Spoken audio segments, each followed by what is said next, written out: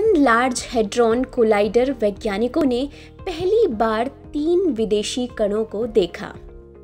यूरोपीय परमाणु अनुसंधान केंद्र सर्न ने 7 जून को कहा कि लार्ज हेड्रॉन कोलाइडर के साथ काम करने वाले वैज्ञानिकों ने तीन उप परमाणु कणों की खोज की है। जो पहले कभी नहीं देखे गए हैं, वे कण ब्रह्मांड के निर्माण को जानने की कड़ी हैं। सर्न में 27 किलोमीटर लंबा एलएचसी वह मशीन है जिसने हिग्स बोसोन कणों का पता लगाया, जो कि तेरह दशमलव सात अरब साल पहले बिग बैंग के बाद ब्रह्मांड के निर्माण के लिए महत्वपूर्ण माना जाता है।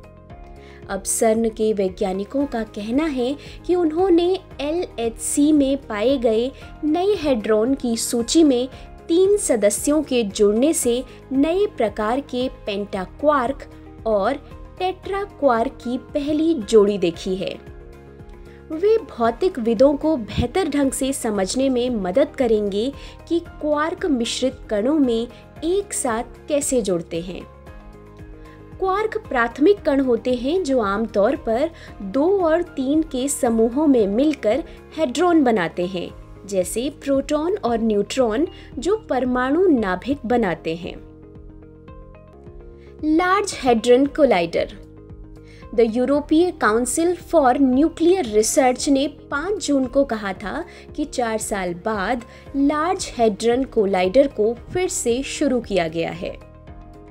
स्विट्जरलैंड स्थित सर्न के नाम से मशहूर European organisation of nuclear research में मौजूद दुनिया के सबसे ताकतवर particle accelerator large hadron collider को डार्क मैटर की तलाश में मदद के लिए खास तौर पर अपग्रेड किया गया है। इससे पहले इसने हिग्स बोसोन का पता लगाया था, जो 21वीं शताब्दी की सबसे बड़ी खोजों में से एक थी। इस साल हिग्स बोसोन को खोजे जाने के 10 साल पूरे हो जाएँगे। इस कर्ण और इससे जुड़े क्षेत्र के बगैर ब्रह्मांड में कुछ भी नहीं होता। इस मशीन का काम बिग बैंग विस्फोट से पैदा हुए ब्रह्मांड के बारे में जानना है। गॉड पार्टिकल कहे जाने वाले हिग्स बोसोन का फिर से खोज शुरू करना है। इस मशीन को फिर से शुरू करके तेरह दशमलव छः खरब इलेक्ट्रॉन वोल्ट जितनी ऊर्जा निकाली जाएगी। Higgs boson. हिग्स बोसोन एक मूल कण है, जिसकी प्रथम परिकल्पना 1964 में दी गई। और इसका प्रायोगिक सत्यापन 14 मार्च 2013 को किया गया। इस आविष्कार को एक यादगार कहा गया क्योंकि इससे हिग्स क्षेत्र की पुष्टि हो गई। कण भौतिकी के मानक मॉडल द्वारा इसके अस्तित्व का अनुमान लगाया गया है।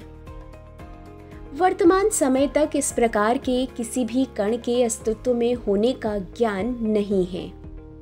हिग्स बोसोन को कणों के द्रव्यमान या भार के लिए जिम्मेदार माना जाता है। प्रायः इसे अंतिम मूलभूत कण माना जाता है। इस मशीन के अंदर प्रोटॉन पर उल्टी दिशा में दो ऊर्जा बीम डाली जाती है, इससे गॉड पार्टिकल का जन्म होता है। डार्क मैटर क्या है?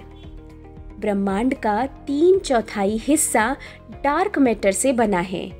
लेकिन वैज्ञानिकों को अब भी इसके बारे में कुछ भी पता नहीं है। ब्रह्मांड के सबसे बड़े रहस्यों में गिनी जाने वाली इस एक पहेली को शायद अब वैज्ञानिक सुलझा सकेंगे। इस वीडियो के बारे में अपने सुझाव और फीडबैक कमेंट सेक्शन में देना न भूलें। वीडियो को लाइक शेयर और सब्सक्राइब ज़रूर करें।